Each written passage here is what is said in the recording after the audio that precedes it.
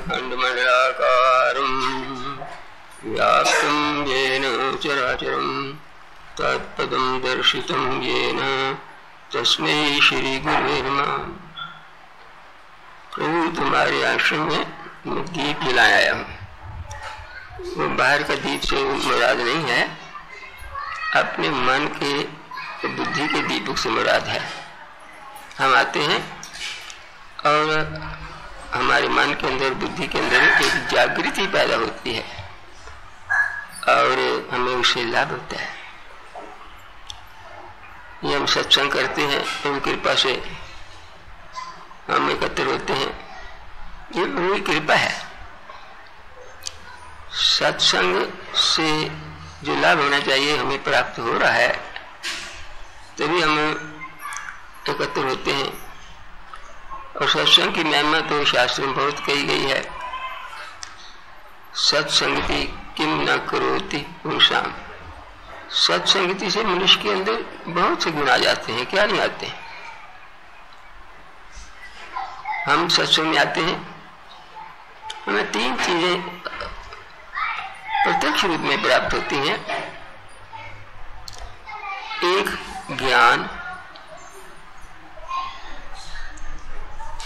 दूसरी भक्ति और तीसरी कृपा। हम सब अनुभव करते हैं, सत्संग में ये चीज़ें प्राप्त होती हैं। ज्ञान, भक्ति और कृपा।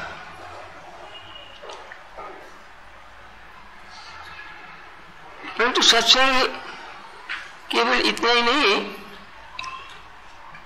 कि हम जो यहाँ कर रहे हैं या बाहर के सत्संग करते हैं। सत्संग की फिलासफी बहुत बड़ी है।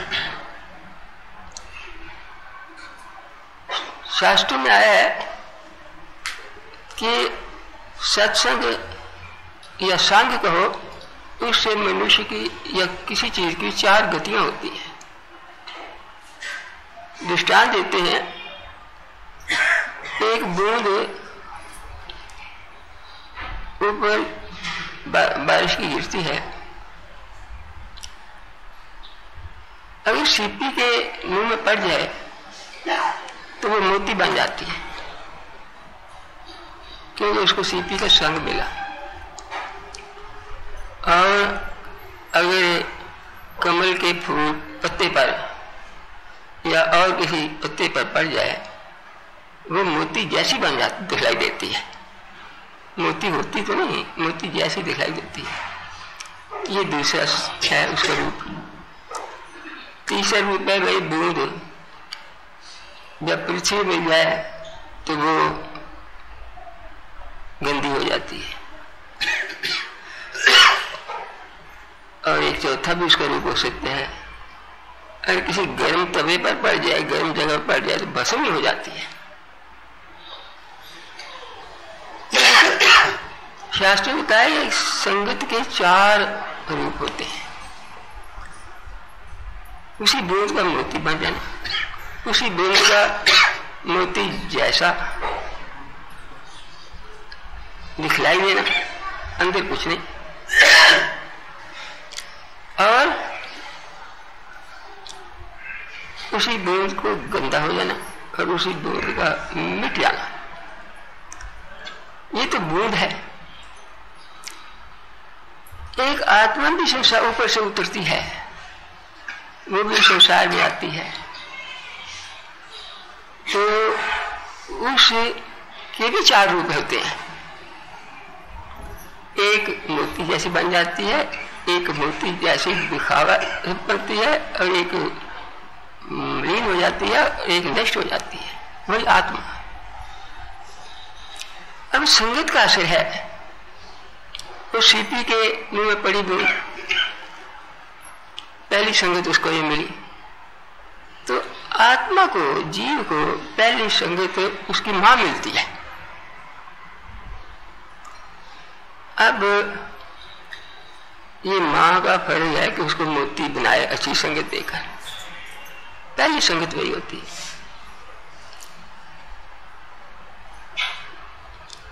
और इसीलिए शास्त्र ने कहा कि माता के मन से संतान का मन बनता है और माता के शरीर से संतान का शरीर बनता है। माता का मन अच्छा होना चाहिए। अच्छा करें। और शरीर को भी अच्छा बनाए। जैसा मन होगा, जैसा शरीर होगा, वैसा ही उस नई आत्मा का शरीर और मन बनेगा। हमारी आपकी माता धर्म पत्नी जी अपनी बहुओं को कहती थी, देखो, तुम्हारे सामने भगवान के चित्र होने चाहिए। उसको देखती रहो। और तुम धार्मिक पुस्तकें पढ़ती रहो। मन और शरीर और शरीर का ध्यान रखो। पहली संगत तो माँ की होती है ना।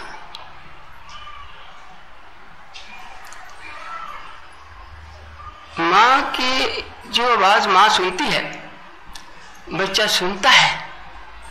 जो माँ देखती है, बच्चा देखता है। जो माँ खाती है, बच्चा खाता है। दृष्टांत है। अभिमन्यु ने कहा, युद्ध की कला सीखी थी। जन्म से पहले ही तो सीखी थी। तो इसलिए पहली संगत जो जीव को मिलती है, वो सत्संग ही मिलनी चाहिए। ये नहीं कि बूंद की तरह जो मिट्टी में गिरकर मलिन हो जाए, उस तरह की। उसको ऐसी संगत मिलनी चाहिए कि मूर्ति बने और उसके लिए माता माँ ही पहली संगत है। और माँ, कई वर्ष तक उसकी संगत करती रहती जब बच्चा बड़ा होता है तो चार चीज़ें माँ ने सिखलानी होती हैं जो अच्छे, एक उसको धर्म नीति तीसरा, उसको शरीर के स्वस्थ रखने के लिए और चौथा, उसको काम करना। आज तभी वो शिक्षा संगत मिलेगी ना, नहीं तो संगत क्या? सिखलाया नहीं संगत क्या? परंतु तो उससे पहले जब ना ये चार चीज़ें नहीं होती बच्चा नहीं समझ सकता तो माँ का दूध पीता है ना।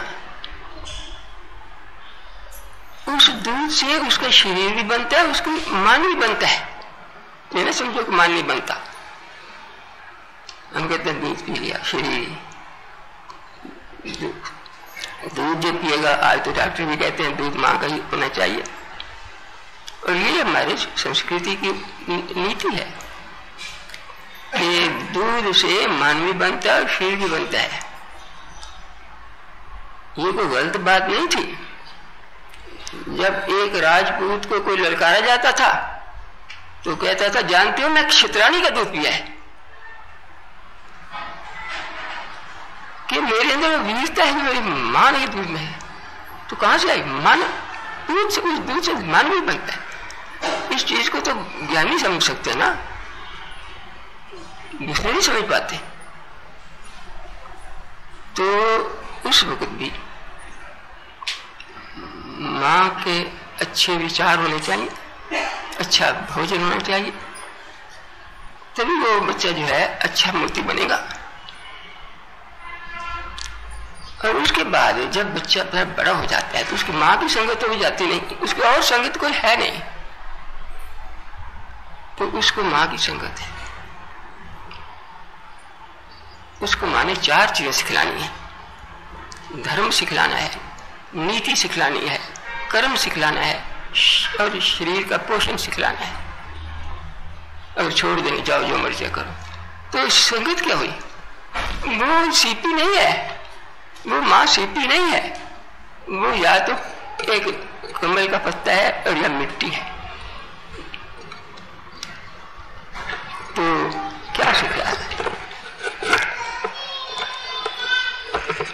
प्रतिष्ठा सिखलाए माँ। जब धर्म सिखलाने के लिए जब मंदिर जाए, बच्चे को साथ ले जाए, भगवान की मूर्ति दिखलाए, माता टेकेगी बच्चे माता टेकेगा माँ धर्म की पुस्तकें पढ़े, उसमें जो भगवान के चित्र हो, वो दिखलाए। ये भगवान का चित्र है, ये है ये सारा रूप दिखलाए। बच्चे को धर्म का पता लगेगा। और दिन प्रतिदिन जब ऐसा बच्चा देखेगा, उसके मन पर वही चीज़ छाप चढ़ेगी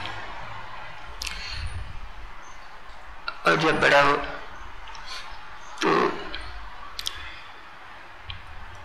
वही कथाएँ सुनाए, जिस बच्चे कहानी सुनना चाहते हैं। तो वो धार्मिक कथाएँ सुनाए। और बच्चे को अपने साथ पूजा करना सिखलाए। तो धार्मिक शिक्षा तो इस प्रकार होगी ना। ये धार्मिक शिक्षा का जो आरंभ होता है, वो तो माँ से शुरू होता है और सारा जीवन ही माँ से शुरू होता है।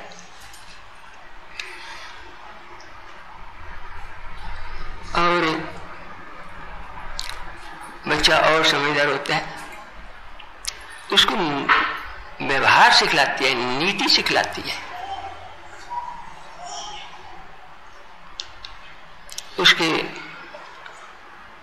बोलना सीखता है, क्या शब्द उच्चारण करने हैं, क्या करना है, जी करके पुकारना है। बड़ा भाई है, उसको भैया जी कहे। पिता के पैरों को स्पर्श करना सिखलाए। हमारी ये धर्म है, नीति है। छोटे बच्चों से प्यार करना सिखलाए, बड़ों का आदर करना सिखलाए। कोई बड़ा बाहर से आए, उसके चरण स्पर्श करे। ये सब नीति नीति है ना? बच्चे का करेक्टर बन जाएगा, नीति बन जाएगी। कोई छोटा बच्चा है तो उसके पास अगर कोई खिलौना है तो उस छोटे बच्चे को कह दे, इसको दो, ये बेबी है। लोग बच्चे छीनते हैं, उसको सिखलाए इसको देना है। तो छोटों से प्यार करना, बड़ों का आदर करना, उनको जी करके पुकारना, और अपने बड़े भाई के, को भैया कहना, उसके भी पैरों को स्पर्श करने, बच्चा के पैरों को स्पर्श करना, ये एक नीति मान सिखला सकती है, और ये सीख जाए तो समझो कि परिवार के अंदर एक मोती आ गया।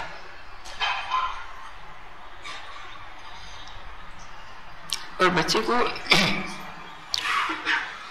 उसके शरीर के बारे में भी, उसके ताकि जिससे उसे शरीर अच्छा हो, सात्विक भोजन और समय पर भोजन करना से आदत डाले। बच्चों के मुँह में होता है कि हर रोज खाते रहते हैं, पेट खराब हो जाते हैं। जो वक्त पर खाएगा, उसको तो उसका शरीर ठीक रहेगा। जो वक्त पर नहीं खाएगा, चाहे कुछ भी खाए, उसका शरीर ठीक नहीं रहेगा। जिन गरीब बच्चों को हम देखते हैं, कम खाने को मिलता है बीच बीच में आरोग्य नहीं मिलता वो तो ठीक रहते हैं। और जिन बच्चों को हर वक्त जो चाहे खा ले, फ्रिज से निकाल खा लिया माने का, तुम खाते ही कुछ नहीं, और खाओ। वो बीमार रहते हैं। क्योंकि शरीर तो वक्त पर माँगता है। तो इसलिए उसको शरीर के लिए खाने की आदतें फिर इस, उसको छोटे बच्चों को जो व्यायाम करने चाहिए छोटे बच्चों को मालिश करनी चाहिए ये सारा काम उसके शरीर के लिए उसको किया जाए, उसको सिखलाया जाए, तुमने ये करना है हैबिट्स डाले तो ये शरीर के लिए होती है। फिर अच्छी आदतें डालनी, अब चार पाँच साल का बच्चा है, आदतें पड़ जाएँगी। बच्चों से काम लिया जाए, अपना काम खुद करना सिखलाया जाए। ये नहीं कि उसको काम करके ही सारे देने हैं। जब उसके हाथ और पाँव हैं तो उसका प्रयोग करें। अपने जो बस चीज़ें हैं, खुद संभाल के रखे। अपने स्थान की खुद सफ़ाई करे। बच्चा करना चाहता है। बच्चे तो बंदर की तरह होते हैं, कुछ करना चाहते हैं, पर तो उसको ठीक ढंग से आते डालें। तो कर्म करने की आदत डालनी चाहिए। और तरह जब और बच्चा बड़ा हो जाता है तो जो और काम है, लड़कियाँ हैं फ़र्स्ट करिए, उनको रसोई का काम सिखलाया जाए, उनको झाड़ू करना, घर की सफ़ाई सिखलाई जाए, कपड़े धोने सिखलाए जाए, ये सब इतने काम हैं तो कर्म भी सिखलाने हैं ना। बच्चों को कर्म ना सिखलाएँगे, ना धर्म सिखलाएँगे, ना नीति सिखलाएँगे, ना शरीर का सिखलाएँगे, ना कोई कर्म करना सिखाएँगे तो बच्चा क्या बनेगा? कुछ नहीं। एक कल्चर बच्चा तो वही होता है जिसको सारी चीज़ें आती हैं। तो इसलिए माँ का जो रोल है, वो सत्संग में सबसे पहले और सबसे बड़ा है। साथ साथ माँ का रोल तो समाप्त होता ही नहीं है। लेकिन बाप का रोल भी साथ चलता है। चार संगतियाँ चाहिए बच्चे को। जिस जिस तरह वो चार है ना, चार संगति, एक माँ की, एक बाप की, एक टीचर की और एक मित्रों की। तो चार संगति अच्छी होनी चाहिए जिनसे कुछ मिले। तो बाप की संगति जो है, बहुत ज़रूरी है। बाप इन चार चीज़ों को सिखलाए। बच्चे को धर्म की तरफ़ लगाने के लिए बच्चे को अच्छे अच्छे सत्संगों में ले जाए। जो कि लोग अवॉइड करते हैं वैसे जहाँ धर्म के उपदेश हो, कुछ ज्ञान मिले, वहाँ ले जाए, अपने साथ ले जाए। ये ना कहें कि बच्चे ने स्कूल जाना है या बच्चे ट्यूशन जाना है, ये, वो अपनी जगह और ये अपनी जगह। उसका महत्व उससे कम नहीं, अधिक है। बच्चे को जो ज्ञान मिलेगा, सत्संग ज्ञान का है। जो उसको धर्म की बातें मिलेंगी, वो तो वही बात मिलेंगी ना। और फिर बाप धार्मिक पुस्तकें लेकर बच्चे को पढ़ाए, बच्चे से सुने तो उसको अपने धर्म का पता लगे। हमारे धर्म की इतनी पुस्तकें हैं, जिनका कोई हिसाब ही नहीं है। हमें वो चीज़ें पढ़ानी है। बच्चा ये जब पढ़ेगा, अपने धार्मिक महापुरुषों की जीवनियाँ और उनके जो गुण थे आज तो रूप भगत। और परशुराम और हरिश्चंद्र, इनके लाम लोग भूल चुके हैं ना, क्योंकि इनको ये फ़र्ज़ किसका है? ये माँ और बाप का फ़र्ज़ है। धार्मिक शिक्षा देना घर में उनका फ़र्ज़ है कि धर्म की बातें सिखलाएँ, धर्म के स्थानों पर ले जाएँ और माँ का, बाप का और भी फ़र्ज़ होता है कि जब बच्चा बड़ा हो जाए और माँ का भी फ़र्ज़ होता है जब बच्ची बड़ी हो जाए तो उसको वो बातें जो कि उसके जीवन के अंदर काम आने वाली हैं। शारीरिक रूप में, सामाजिक रूप में, वो सारी बताई जाए। नीति की बात कि बेटे का अच्छे स्थान पर ले जाए जहाँ पर कि वो उसको सभ्यता का पता लगे, सदाचार का पता लगे का बच्चा सदा, वैसा बनेगा।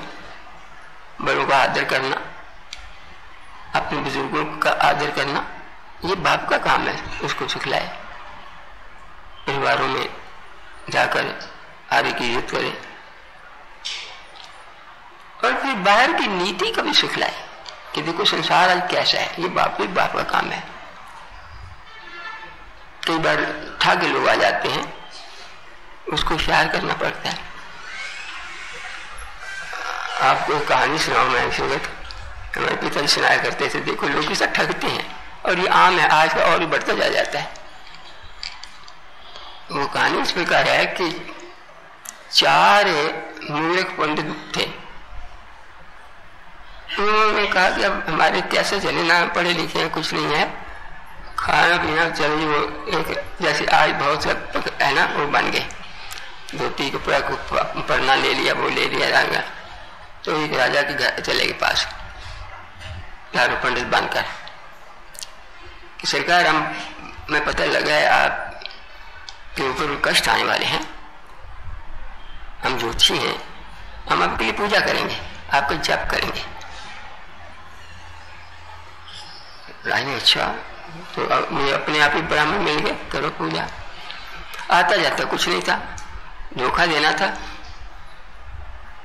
तो हमें आसन लगा दो जी हम भगत पर ही खाते हैं। और बस हम सारा आपके लिए पाठ करेंगे। बैठ गए चारों। अब सोचे कि फंस तो गए राजा भी मान गया, अब करें क्या? न मंत्र आता है ना कुछ सीखा है, ना किताब पढ़े हैं।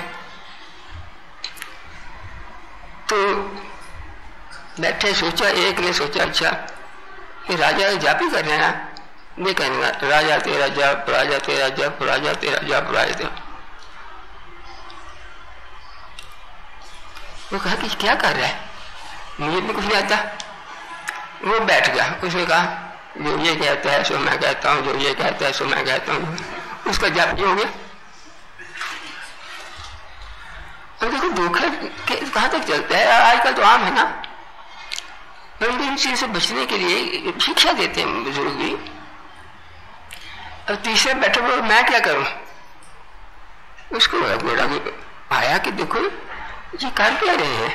आगे को देखेगा तो क्या कहेगा? तो वो ये कहने लगा ये कब तक चलेगा, ये कब तक चलेगा, ये कब तक चलेगा?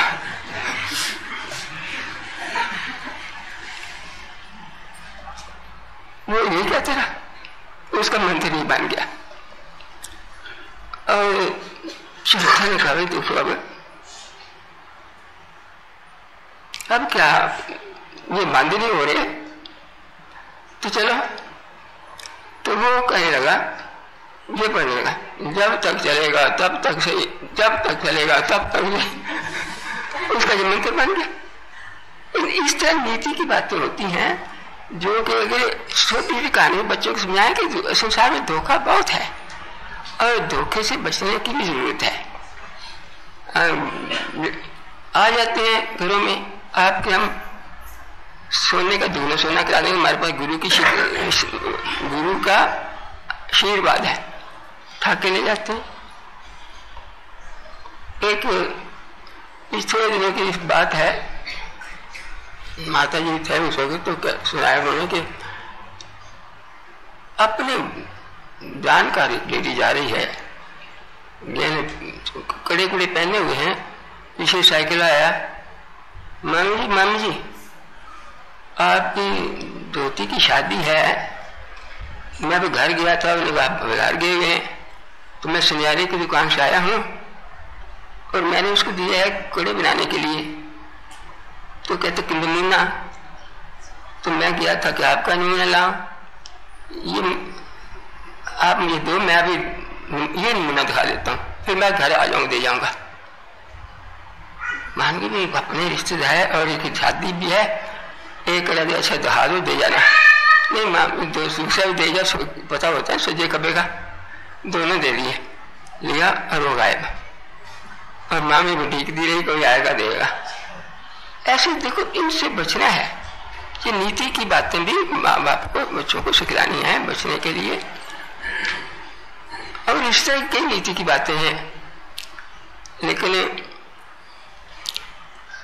ये हमें खुद सोचना चाहिए माँ बाप को कि बच्चों को क्या कर सिखलाना है। सब अच्छी संगत मिलेगी। अगर कोई संगत मिली, सत्संग लाने की बजाय सिनेमे में ले गए दूसरी जगह ले गए या नहीं ले गए कहीं तो बच्चों को क्या शिक्षा मिलेगी? कैसे उनका वो संगत नहीं मिलेगी? फिर वो संगत को संगत मिलेगी, बाहर की संगत मिलेगी। अब बच्चे को शरीर भी बच्चे का बनाना है। जो अच्छे माँ बाप हैं, बच्चे हैं, बच्चे को सुबह घुम, अपने साथ घुमाने ले जाते हैं, आश्रम में आश्रम करने लाते हैं, बच्चा सोया हुआ है तो उसको दिखाते हैं। ये नहीं कि तुम रात को देर तक सुबह सुबह उठे ना। उसको अच्छी आदतें डालनी है। उसको ये बातें बतलानी है, देखो कि नीति क्या कहती है? Early to bed and early to rise makes man healthy wealthy and wise उसके मन में बिठाओ कि जल्दी सोओगे और जल्दी जाओगे तो तुम्हारी बुद्धि भी ठीक रहेगी और तुम पढ़ भी सकोगे, कमाई भी अच्छी कर सकोगे। ये जब मन में बैठ जाएगा तो बच्चा वही करेगा। और कहीं, नहीं, तुम्हारा इम्तिहान दो बजे तक पढ़े रहो सुबह जाते रहो उसका दिमाग वैसे बन जाएगा। और बच्चों को ये तरीके से समझाना होता है। मैं एक बार चार्ट लिख रहा था, मुझे जैसे चार्ट लिखते हैं। तो पिता यार क्या लिख रहे हो? ये मैं जो कहता लिखो। क्या? फ़र्स्ट डिजर्व देन डिज़ायर और कुछ प्राप्त करना है तो योग्य बनो, ये मतलब है। चाहते तो बहुत कुछ हैं, और लियाकत पैदा नहीं करते। तो उससे कुछ नहीं बनेगा।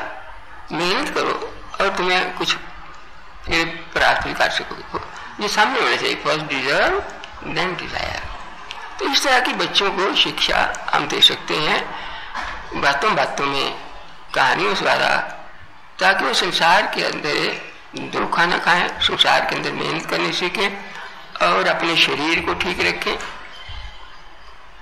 समय पर, समय का बंधन। कि किस समय हमें क्या करना है? घर में टाइम टेबल बनाए, बच्चों का हैबिट्स बने। ये बाप का काम है। अच्छी पुस्तकें ला के दे उसे डिस्कस करें। ये ये बाप को संगत होनी चाहिए। आज अगर हम नहीं करते तो उससे बच्चों के ऊपर प्रभाव नहीं पड़ता। और, तीसरी जो संगत होती है, वो टीचर की होती है। टीचर का की संगत में भी सब कुछ होना चाहिए। कि ये नहीं कि अपनी किताबें पढ़ानी जो सब्जेक्ट पढ़ाना है तो पढ़ाना ही है। लेकिन अच्छे टीचर जो होते हैं, वो बच्चे को इन चारों चीज़ों का उपदेश देते हैं कि देखो, तुमने अपने जीवन एक टाइम टेबल के मुताबिक चलाना है। वक़्त पर पढ़ना, वक़्त पर खेलना, वक़्त पर सब कुछ करना। Work while you work and play while you play दोनों काम करना है। समय पर खेलो भी समय पर पढ़ो भी टाइम टेबल बनाओ, अपना। और उनको किताबी ज्ञान के अलावा दूसरा ज्ञान भी देते हैं। ये नहीं जो किताब में बस तुम कोटा लो ये तुम ज्ञान लो। तो ये क्या बनेगा? उसको अगर इधर उधर का, दुनिया का और ज्ञान ना हुआ तो कहाँ से मिलना? टीचर से मिलना है। तो उसको, उसके ज्ञान की वृद्धि करे। उसके स्वास्थ्य के बारे में बतलाए। और उसको व्यवहार के बारे में बतलाए। ये देखो, तुम कहीं जाओ तो सीधे ना चले जाओ, पूछ के जाओ, मैं अंदर आ सकता हूँ। जा, जिस पहले जाओ, पहले उसको नमस्ते करो, फिर बात करो। शिष्टा और कहीं देखो कहीं जाओ तो धक्के मक्के मत करो, लाइनों में खड़े हो जाओ। ये सब चीज़ें टीचर्स का फ़र्ज़ है सिखलाना। पुराने जमाने में, पुराने काल में टीचर सिखलाया करते थे, वो अपने पढ़ाई भी पूरी करते थे। यानी कि जितने पढ़ाई करानी करते थे। कोर्स रहते नहीं थे, चाहे कोर्स थोड़े होते थे तो ठीक है, आज ज़्यादा होते हैं। लेकिन वो अपना पूरी, पूरा कर देते थे पढ़ाना। और बच्चों को बहुत बातें सुलाते थे। शरीर के बारे में भी, समाज के बारे में भी, व्यवहार के बारे में भी, और दूसरे कई सब्जेक्ट के बारे में जो उसको ज़रूरत होती है ये टीचर का यही फ़र्ज़ है कि अपने सब्जेक्ट कि बच्चों को पढ़ाए। मैं भी तो टीचर हूँ। थ्रू आउट दानी सब बैठे हैं, और भी हमारे स्टूडेंट्स आते रहते हैं। जो टीचर को खास अच्छी चीज़ लगे, वो बच्चों को पढ़ाए दिखलाए जहाँ भी रहा, बच्चों को योग ही सिखलाया। अगर तीस साल सर्विस किया, तीस साल में हज़ारों बच्चों को योग सिखलाया, धर्म सिखलाया। उसका नतीजा क्या हुआ? कि वो आज भी वो जो बड़े बड़े हो गए, वो उधर लगे हुए कोई अनेकों हैं। दानिशा भी तो जो पहले वैसे सीखा था मेरे स्टूडेंट और डॉक्टर नीलमणि आए थे। जब फ़र्स्ट ईयर में धर्मशाला मेरे पास पढ़ते थे तो तब उन्हें योग सीखा। स्वामी जी के पास में धर्म सिखलाने के लिए ऋषिकेश भी ले गया इनको। और आज वो एक बहुत काबल प्रिंसिपल रिटायर हुए हैं और योग का प्रचार भी करते हैं। और हर तरह से उनके धार्मिक हैं, मंडी के अंदर उनका प्रतिष्ठा है कि एक धर्मात्मा व्यक्ति हैं और ज्ञानी व्यक्ति हैं। तो क्यों? किस एक टीचर ने, टीचर का फ़र्ज़ है कि बच्चे को कैरियर सीधा करे। ये बड़ा फ़र्ज़ टीचर का